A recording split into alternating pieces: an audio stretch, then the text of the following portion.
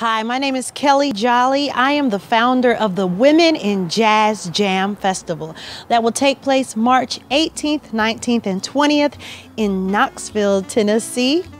I want to say thank you to all of the contributors who have given so far. We've raised over $3,000. Our goal is $10,000.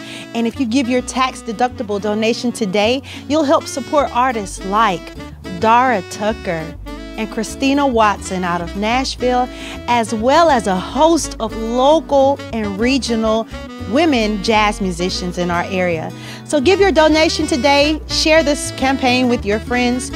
We really appreciate you. Remember, don't leave the women behind. Support the Women in Jazz Jam Festival. We're supporting women by bringing this festival to you, by supporting women businesses and also women designers, women entrepreneurs, and women artists.